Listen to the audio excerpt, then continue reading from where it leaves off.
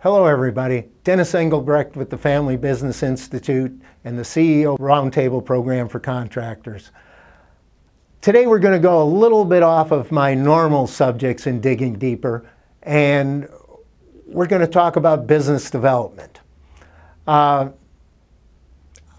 I was in a strategic planning session these last couple of days, um, and I went to dinner with, uh, with the, the uh, owner of the company and I was really struck by some of the tales he had to tell, some of the stories of the construction company. Um, and a lot of that's around problem solving and, and, issues that came up and how they, you know, solved a problem uh, and all of that.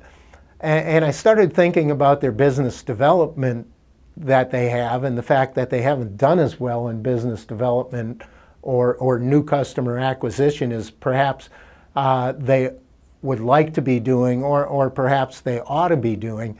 And I thought, what, what's the missing element? Well, I think the missing element a lot of times is that storytelling.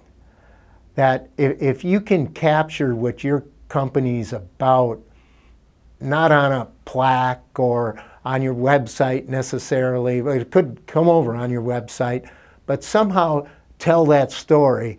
And, and, probably more importantly, if you can get your client to tell the story. You know, those testimonials or uh, I know some very effective school marketers do videos and they have their clients talking in videos about the construction process and how well it worked for them and how nice it was to work with these people. But uh, I was listening to these problem solving stories and thinking, wow, these are amazing stories. So how, how do we get those to come across? Because I think, you know, that's really what clients want. They want you looking out for their interests, solving their problems, being their advocate.